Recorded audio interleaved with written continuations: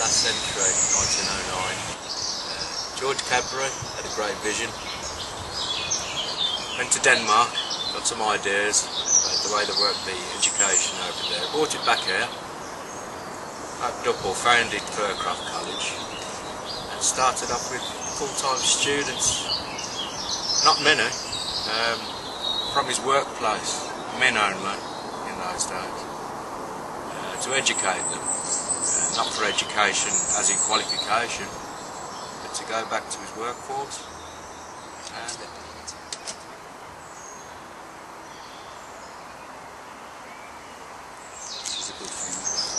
And like I say, when it started, it was white men only, and through the years, it's ethnic. It's everybody and anybody Students from overseas. and overseas. And even women have been allowed in now.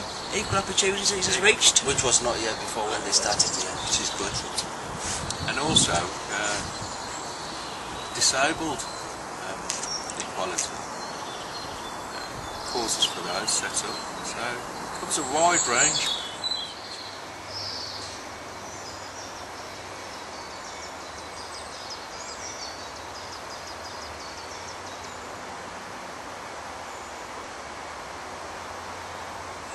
It was referred to at the start as the Poor Man's University. So we're working class. And over the years, they've taken students from overseas. And it seems more people have come with a view to getting a uni- qualification to go into university higher education. Courses here. Fircroft is known across Europe because of the students that come to Fircroft and made a difference to Europe and further afield as well. As far as Africa and Southern China. Africa, yeah. Also, um, active citizenship. I've learned that, you know, no matter what ethnic group you come from or race, whatever, you can all pull together and work as a team and work together.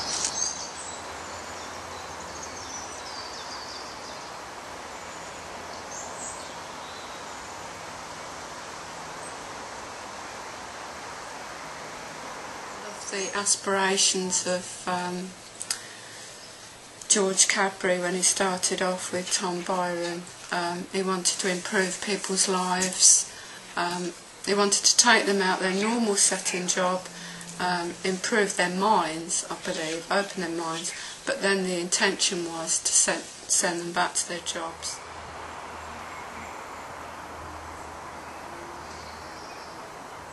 I think that's one of the good things about Fircroft. There's different methods of teaching, so it's not just a traditional sitting in a classroom with a blackboard or whiteboard style. Everyone can get involved Yeah. depending on your learning style. Mm. I like the That's a good thing. diversity of the people because you mm. could be in Tesco's and see like I could see you and I wouldn't even mm. you know even say hi or anything I don't know you but then sitting in the classroom and then you meet so many different people from so many different backgrounds I love it I like it. The thing about Fircroft as well is the size of it.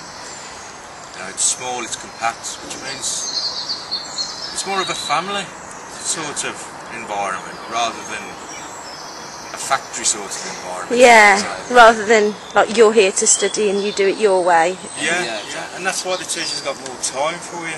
You know, they, they could basically more sit down and personal, talk isn't it? To you if you've got a problem or you can't get through something, they're there for you. I like the way the tutors like um, if you're not understanding the way they've put it, that they'll change it or they'll show you a way to change it so you can learn easier. can fit in, yeah. Yeah. And they do encourage very much student participation. There's no them and us for craft. Yeah. Yeah, you, you, you- you can't even uh, differentiate the students from uh, from the tutors. So it's Fitting on and yeah, exactly. So like all the changes over the years, when the student rebellion that closed closed the college. sacked everybody. Yeah. Well, the tutors. A lot of good came from that because it's made it more like the way it is today.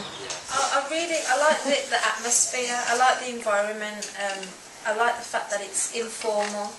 It's relaxed. Um, I don't feel like I come here and the tutors are talking at me. I feel as though the tutors encourage all the students to take part and participate, um, meeting everyone's different learning styles. I just, it's a nice place to come and, and get away as well. You know, just to have time out while you're learning in such a nice Very good for team building skills, Exactly. creative skills, getting the camera out. Yeah. which uh, was thrown upon us at short notice. Which brings like a, a teamwork aspect to it. You know? The team. And as Simon was saying, it's exploring new ways of camera recording as opposed to always writing. And just working with people that you might not usually get the opportunity to work Try to with. bring out ideas and uh, sharing everything, you know.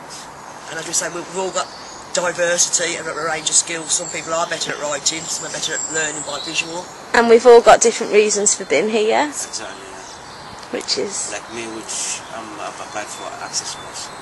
So I'm doing the short courses. To get you prepared. or talking to other people or meeting in a group as we as we have here, then it becomes apparent, not of all people's disabilities, but just some of them, and I think you start to appreciate people a bit more then. I know in the past myself I've probably been a bit short and abrupt with people, mainly to do with some of the jobs I've had, but just in the short time I've been here, I think I can understand people, you know, a lot more than I did previously. No matter how small or large, everyone's got something to contribute. You can look on the big scale and look at what George Cadbury did and the fact that he put so much into the lives of those who were probably more disadvantaged. That was a big part of like being active in citizenship. But I think you can do smaller things that contribute. For example, the filming that we've all done today, that's going to go on to Usually at Fircroft. Yeah, what's mine's yours. Still enjoying the sun. share and share. We've got a roll up on you.